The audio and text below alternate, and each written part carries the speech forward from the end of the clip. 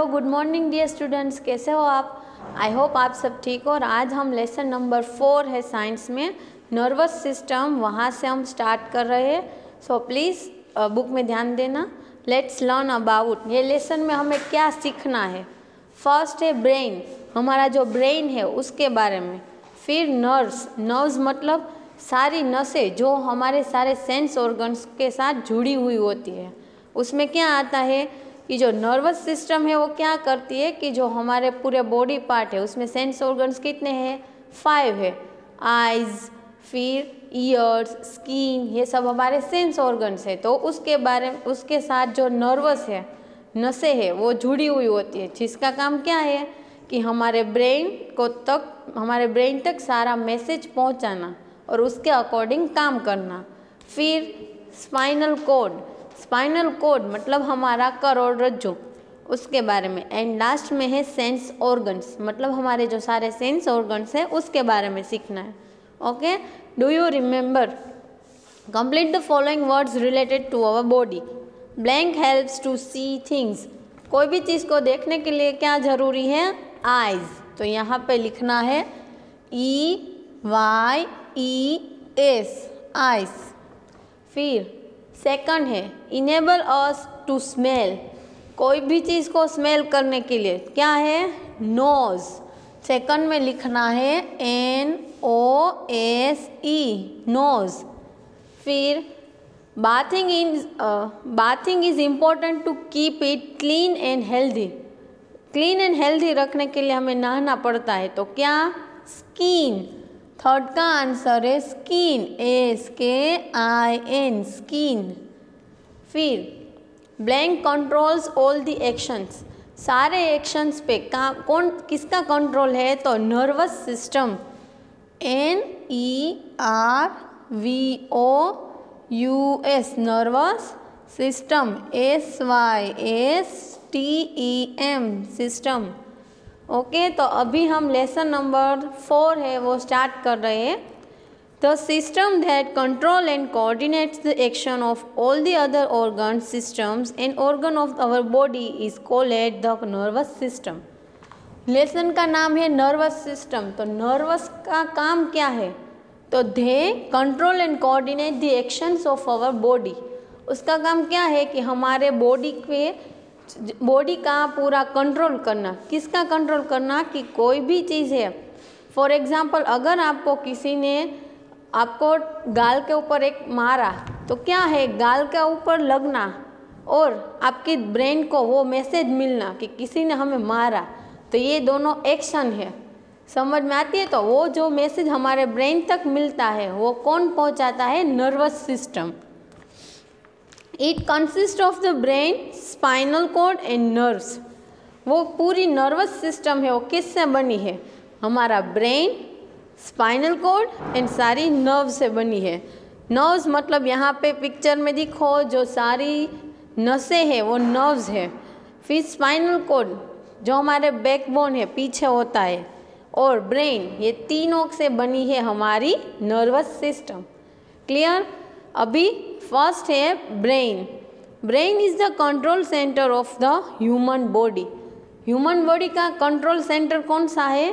Brain है, क्योंकि brain है, जिससे हम कोई भी फॉर एग्ज़ाम्पल हमारे पास ब्रेन नहीं होगा तो हम कोई भी काम अच्छे से नहीं कर पाते हैं. Okay it is the delicate organ protected by the hard bone structure called the skull delicate organ का मतलब है सबसे नाजुक हिस्सा है. हमारे बॉडी का सबसे नाजुक हिस्सा हमारा ब्रेन है, जो किससे प्रोटेक्टेड है? स्कल स्कल का मतलब आपको पता है कि स्कल का मतलब है खोपड़ी.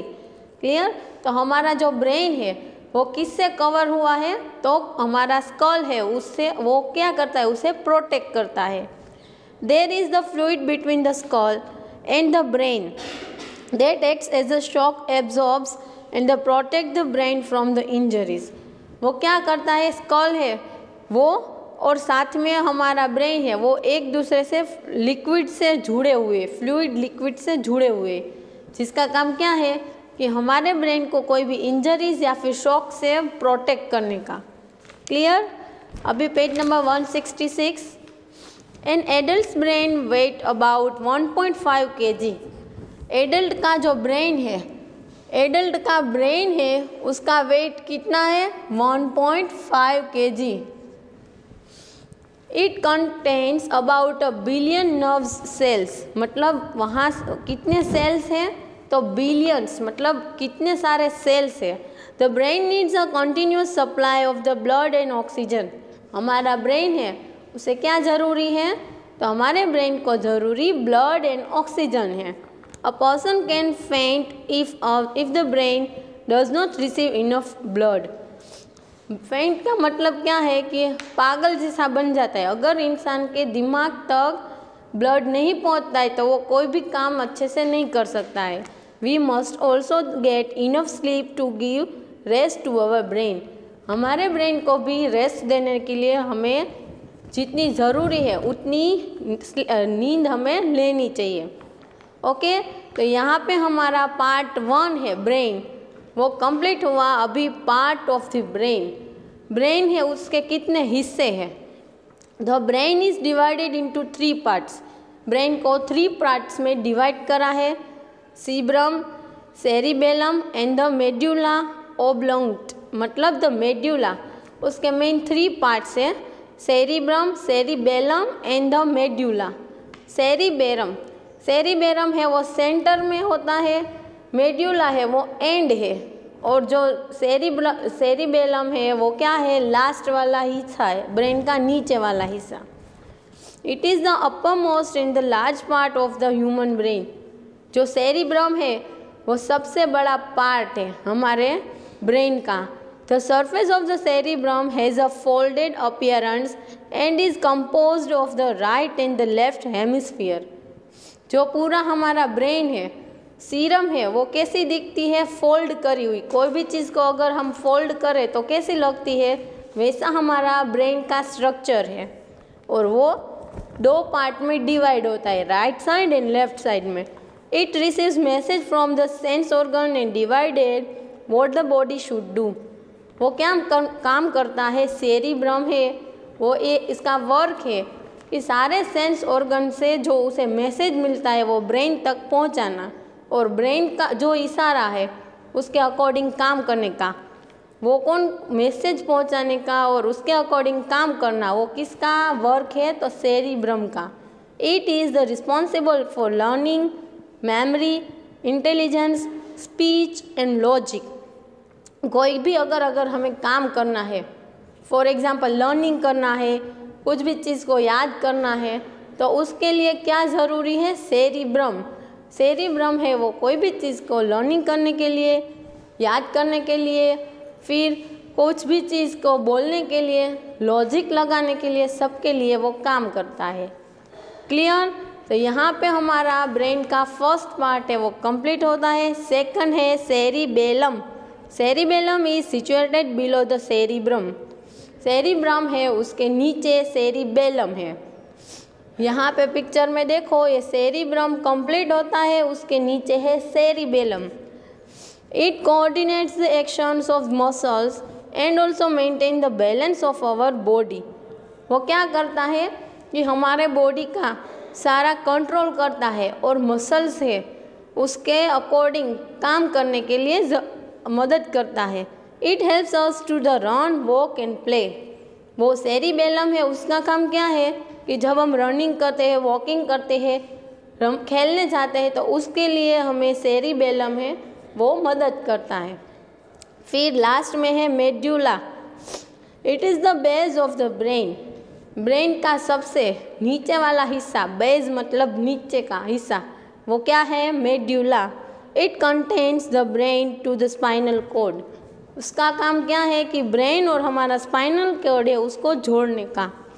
It controls the involuntary actions of the body such as heart beat breathing etcetera जो उसका मेड्यूला है, उसका काम क्या है कि जो स्पाइनल कोड है और हमारे ब्रेन को एक रखने का काम है, और साथ में उसका वर्क क्या है कि इनवॉल्टरी एक्शंस आपने पढ़ लिया लेसन नंबर थ्री में?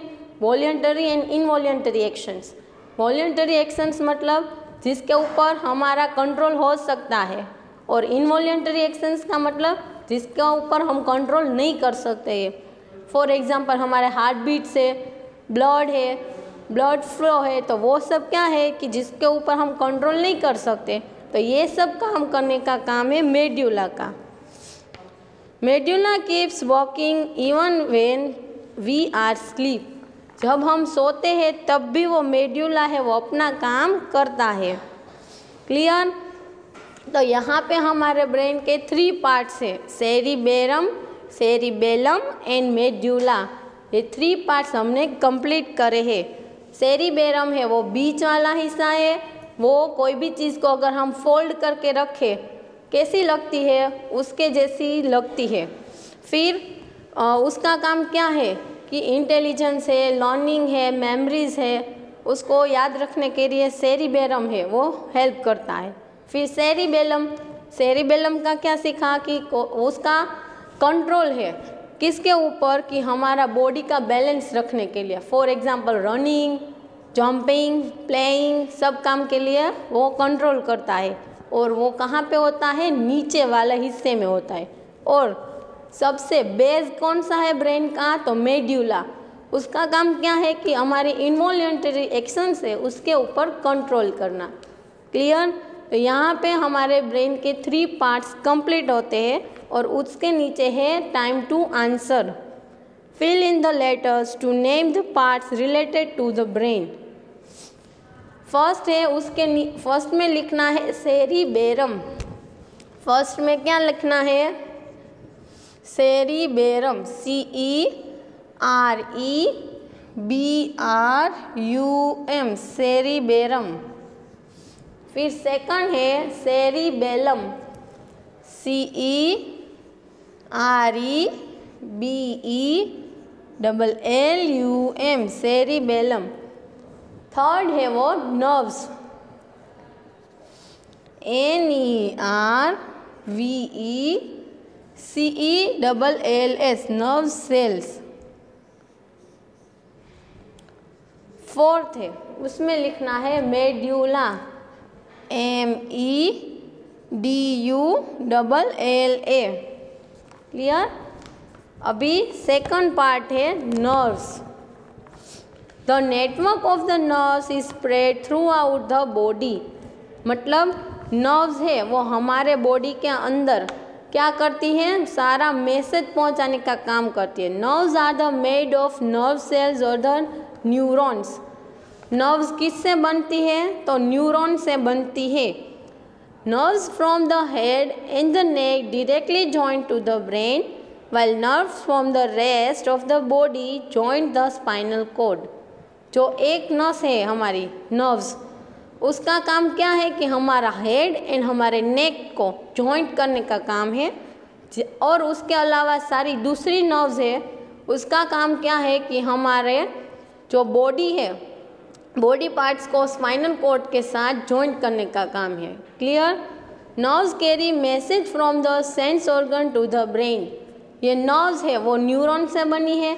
और ये न्यूरॉन नाम का लिक्विड हमारे ब्रेन के अंदर होता है। उसका काम क्या है कि सारे सेंस ऑर्गन से कितने हैं? फाइव है। वो मैंने आपको एक्सप्लेन कर दिए थे। तो ये सारे सेंस ऑर्गन से उसका मैसेज पहुँचाने का, हमारे ब्रेन तक मैसेज पहुँचाने का काम नर्व्स का है। The brain interprets them and then tells the body the way in which it has to react. मतलब इंटरप्रिएट मतलब उसका वर्णन करना, हमारे ब्रेन के अंदर उसको मैसेज देना कि ये हुआ।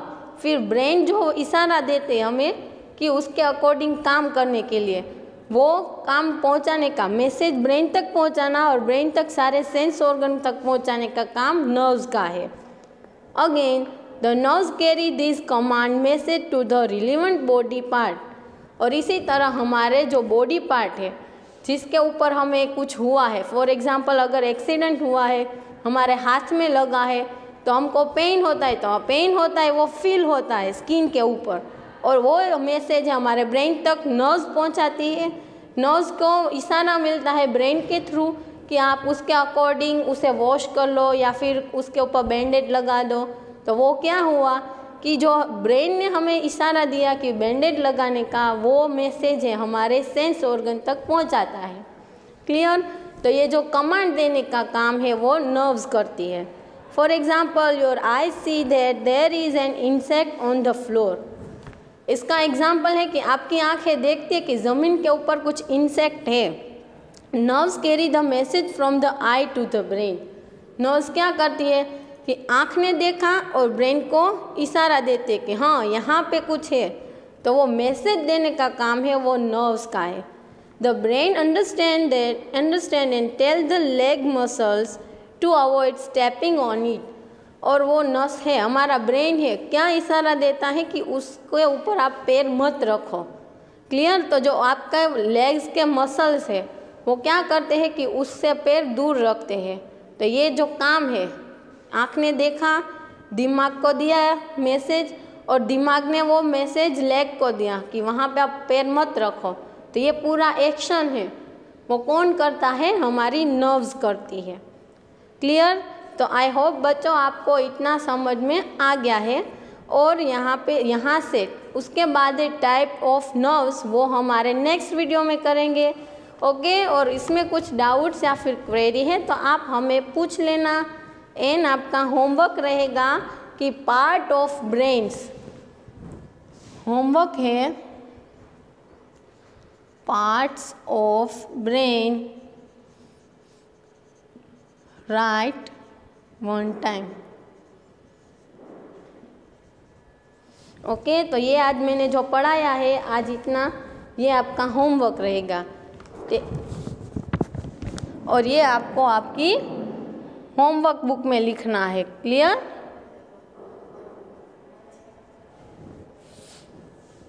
clear take care have a nice day